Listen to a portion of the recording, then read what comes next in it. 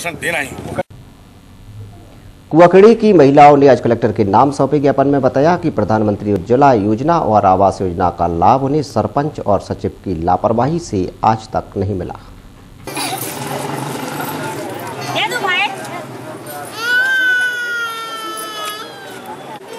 सभी महिलाएँ ग्राम कुआखेड़ी से आई हुई हैं। इन्होंने आकर मुझे सारी समस्याएँ बताई। इनके गाँव में प्रधानमंत्री उज्ज्वला योजना एवं प्रधानमंत्री आवास योजना के अंतर्गत आने वाला किसी भी लाभ नहीं दिया जाता है। इनसे कहा जाता है, तुम्हारा गरीबी रेखा सूची में नाम नहीं है, इसलिए तुम्हारे लिए कोई लाभ नहीं मिल सकता है। जबकि हमारे बुज़ुर्ग पीढ़ी दर पीढ़ी गरीबी रेखा में जीवन यापन करते हुए चले आ रहे हैं। ये हमारे लिए सबसे पहले गरीबी रेखा का लाभ मिलना चाहिए। आज हमने कलेक्टर साहब से प्रार्थना की है कि हमें जो भी पंच ग्राम पंचायत में गरीबी रेखा से संबंधित जो भी लाभ उचित हो, शासन हमारे लिए दिलाने की